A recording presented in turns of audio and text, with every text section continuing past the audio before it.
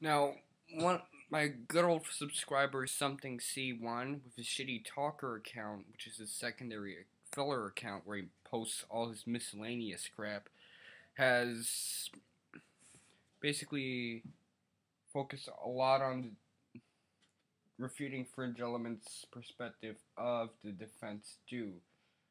Well, he hasn't really refuted it. He's just said that it's really statist and kind of bullshit. And he's basically said that this is the final issue anti-statists need to deal with. Personally, I think he's taking the internet way too seriously, but considering that he's one of my subscribers and he really does have a lot of interesting videos, I'm going to actually take some time to have my views on the defense do because around the time I started making videos again and left hiatus, because as you remember, I deleted all my videos in early 2010 and then started anew a few months later, back when I wasn't political. So, when I finally started making videos a lot, which was in mid-June, it was near the end of this defense do bullshit, so here's my perspective on defense in a stateless society. Now, I'm not a fan of guerrilla warfare, but I certainly don't advocate um, the hierarchical warfare we have now, where there's these official battles and shit like that. Now, although I don't have all the answers to how defense would work in a stateless society, uh, what I'm trying to do is think, well, how will dealing with states be easier once stateless societies start kicking in, becoming rampant? Well, it'd be easier to deal with states because the only place where states would exist at their best are cities, since states form naturally with in cities where there's high population clusters and they eventually start to become bullshit if not dealt with and turn to impossibility once shit like the Hammurabi's code kicks in and states try to consolidate past their city structures.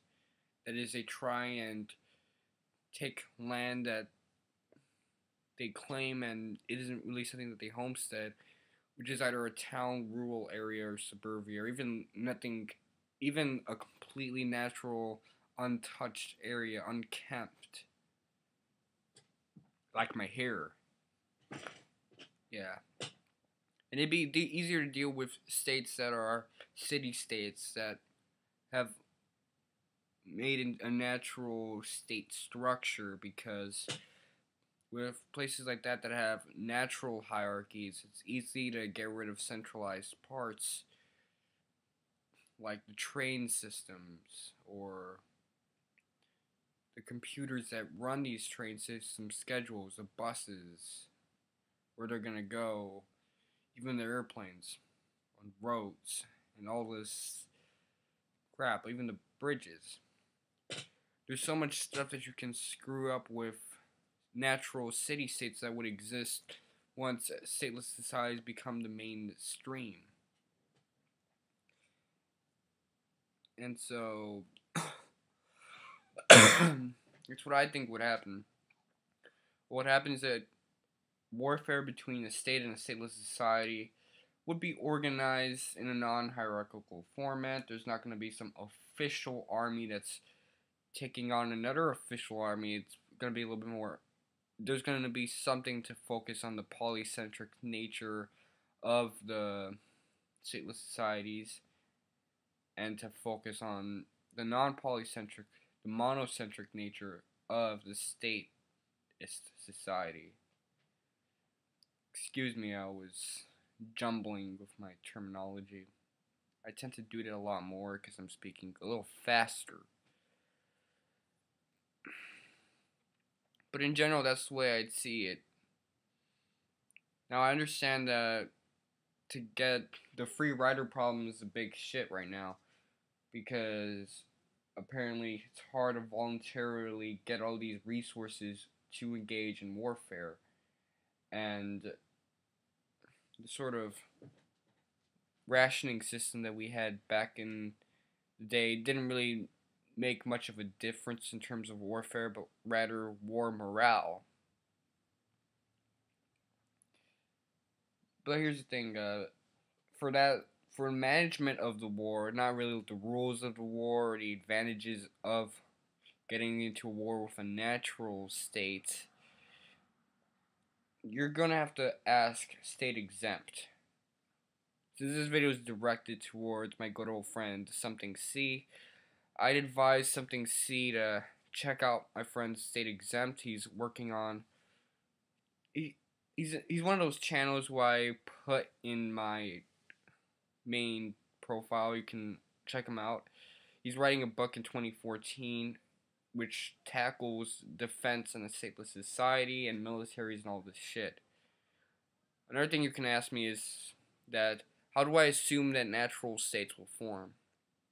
Well, if anti-statism ever becomes a popular thing and starts taking off and societies become more and more stateless, you can expect that places like this city right here, New York, are going to be statist regardless of whether or not that happens. And if New York City, Manhattan, New York, tries to get in war into war with Westchester, New York, then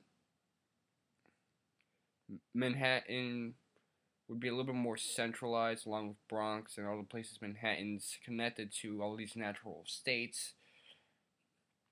So it'd be easier for, let's say, all these five boroughs to consolidate into one and say, all right, this is as far as we can consolidate.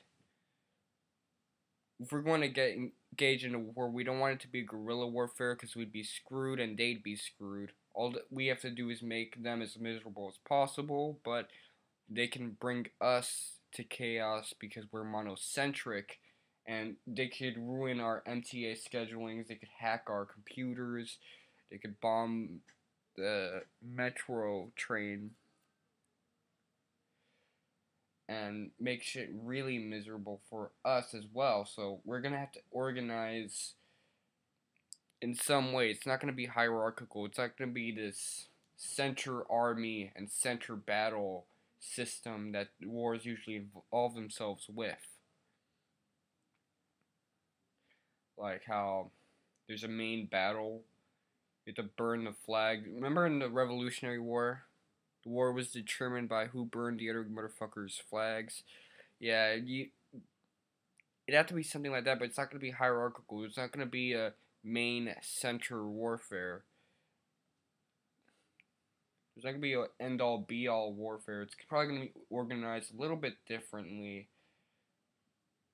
not in a simple manner, but in a marginally less complicated manner. And that's what I've come up with. As for how we're going to get these resources, you're going to have to ask state exempt. Personally, I don't know how much. I think that in a free market, things would be a lot more cheap. So it'd be easier to obtain read these resources but where are you going to get this money from? And are you going to produce enough of this shit? That involves a lot of market esque things and a lot of stuff that I hope state exempt can do. Not just for the individual anarchists, but also the social anarchists as well. So I'm to have to call him out on that. Yeah. So this is Mr. Wonka 7, or Leon Red, or whoever gives a fuck, and suck my dick.